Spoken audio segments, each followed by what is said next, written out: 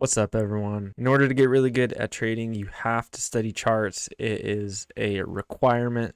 So let's dive right into this action and learn some important price action principles. And we have this clear spike up coming off of the news, and then a possibility of a secondary channel. Now, you don't know yet if this channel is going to be legitimate or not.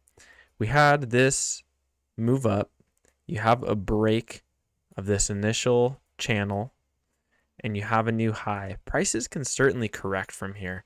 So it may be tempting to buy when we come down to the EMA and you're looking at the secondary channel, but you want to wait. You want to wait to see what prices are going to do, especially pre-market, especially coming off the news. And you were rewarded for waiting, but the action was still bullish over here. So you you could even still expect after this correction is played out that maybe we we would get a bounce and get to a new high. So right about here, you have two measured legs down, and that is often when prices decide to bounce. So it may be tempting to draw a wider channel, and that could certainly be in play. But with the action to the left, you always got to look left. You want to hold off and see if that we're going to get a bounce. In here, a bit of the bounce is starting. So you can even draw an uptrend like that. This isn't good enough to take a long up. We, we really want to see some progress up into here to be sure that a new high is going to be reached. And yet we just keep falling off. So at this point, it does look like this wider trend was likely legitimate. Uh, but now it is played out. Here's the trend. You have a break. Now a move to a new low. This becomes quite a strong move as you can just see it continually going down.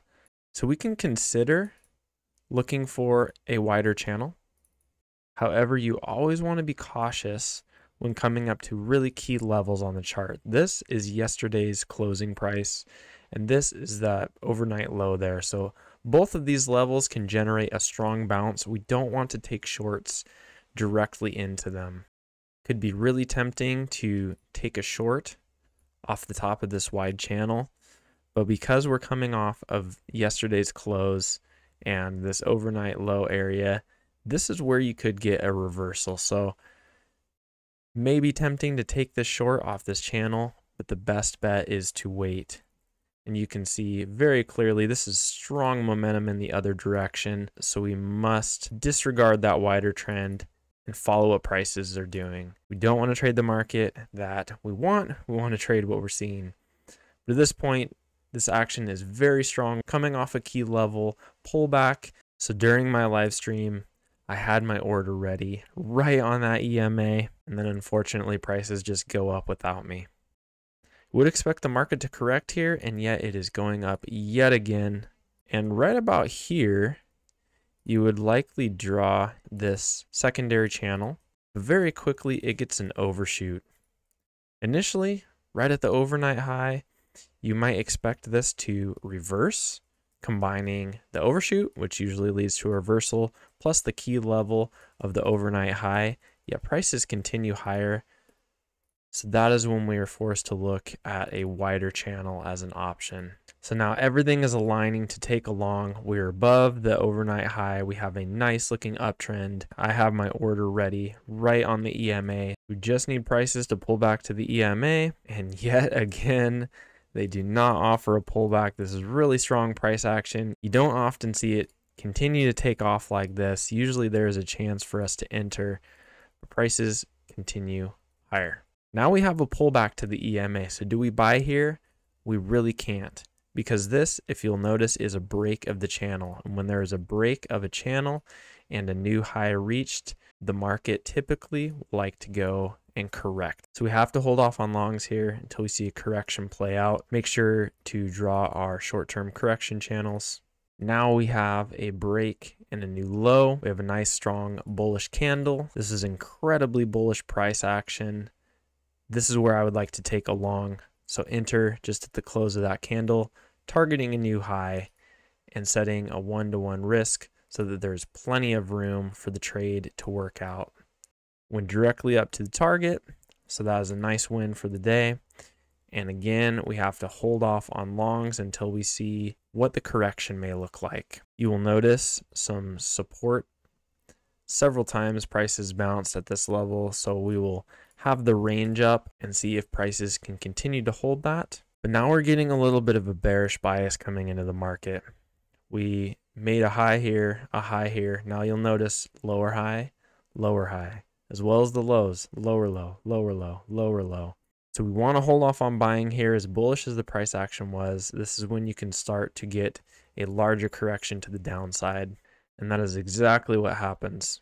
So we'll need to draw our bearish trend and we can see immediately that we are getting an overshoot of that channel. So we have to be cautious about taking any shorts. We are getting a pullback and typically this is the setup I like. Nice trend, pull back to the EMA, go short. But with this overshoot, this can generate strong movement. The market could reverse. It was all bullish anyway, so we might be headed for a new high.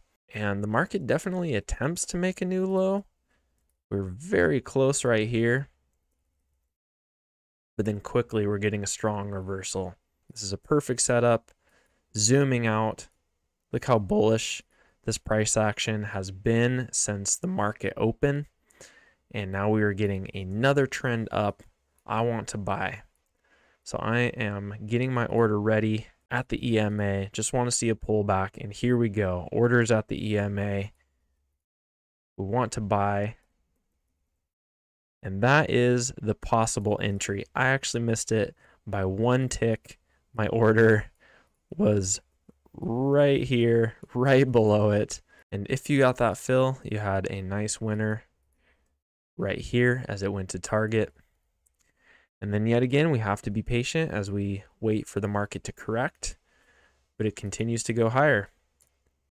So we draw another bullish channel and make sure we're taking note of where the high of day is. You don't want to take a trade right into that, another level that can react very strongly. And so even though we're getting a pullback here, it is not one you want to buy. Right at the new high of day, this was already a wider channel. This is the primary one, so the market could correct here. Hold off on buying. And if you bought the EMA, I think that would have been a loser. Yeah, that would have lost. Unless you're waiting, um, you can wait for this bullish bar and go long above that and even shorten up your risk to where you are just risking below that swing. I didn't want to do it. This wasn't like a runaway trend or anything. And this could have easily been the start of a reversal, but not a bad setup to go long right there. And now that we are in new high, we have to be patient. And at this point, the market's going to be closed in about 15 minutes, so we don't really have time to take another trade. Couple of great opportunities, also some heartbreakers. Wanting to buy the EMA here, didn't get filled. I didn't get filled on this one either. Uh, but that's the way it goes sometimes. So keep studying, keep improving your trading, and I will see you on the next one.